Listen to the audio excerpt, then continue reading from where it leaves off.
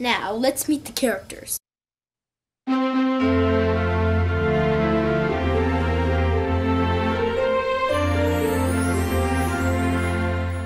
This is Mr. Scrooge. At the beginning, he was mean and a money hog, but at the end, he's very nice. Take a bow. This is Bob. He's Mr. Scrooge and is an employee. He works for him and helps with money and stuff.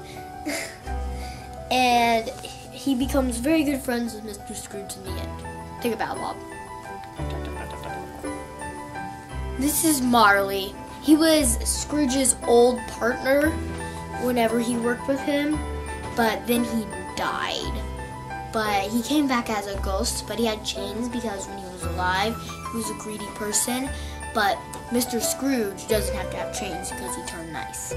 Think about Marley. Uh-huh. This is the ghost of Christmas past.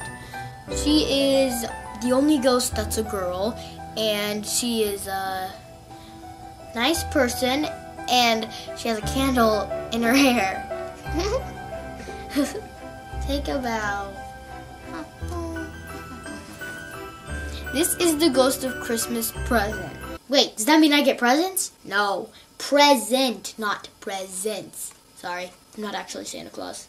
He's very big and he has a whole lot of brothers.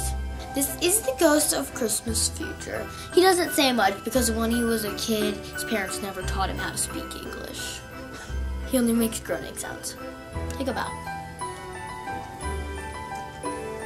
And lastly, Tiny Tim. He can't walk, and he but he always seems to have a nice, happy, positive attitude. Bob is his dad, and what now that Mr. Scrooge is being nice, he is paying for him to have doctors that can help him to walk again. Take a bow, Tiny Tim. God bless us, everyone.